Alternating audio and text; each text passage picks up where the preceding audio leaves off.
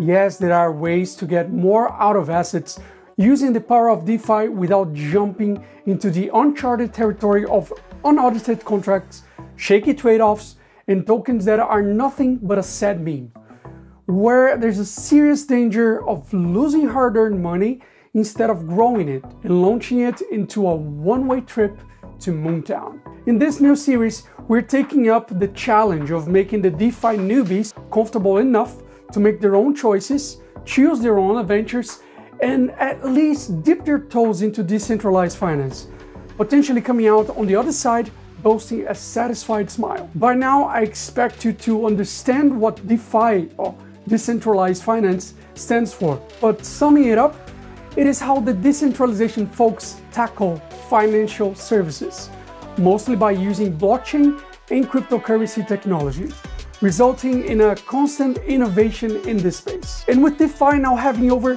$13.3 billion locked in it, there's no secret everyone and their dogs want a piece of the cake, leading to lots of noise and sometimes confusion. Where should I go? How do I get in?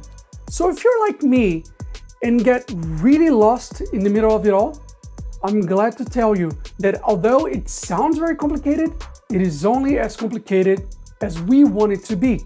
In case you're just looking for a safe and secure way to get in, there are very interesting yet very simple solutions that will help you grow your assets. Firstly, I bring to you lending protocols.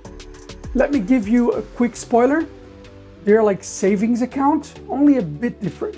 While there are multiple examples in the DeFi space that you can explore and even suggest down in the comments, I'll speak about my personal favorite, which is Aave. Aave is a depositing and borrowing money market protocol, where those who make deposits, aka us, provide liquidity to the Aave protocol's market and earn passive income. It is without question the safest bet in terms of actually earning money with as little effort as possible.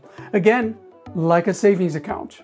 You should be aware that this might not be the solution for you if you're looking to make a fortune overnight out of thin air. If it were, I'd be recording this for my penthouse's film studio. But however big or small the gains may be, results will differ depending on what asset you deposit and how much, and their performance is based on the asset's APY. According to Wikipedia, APY, or annual percentage yield, is a representation of an interest rate based on the compounding period of one year.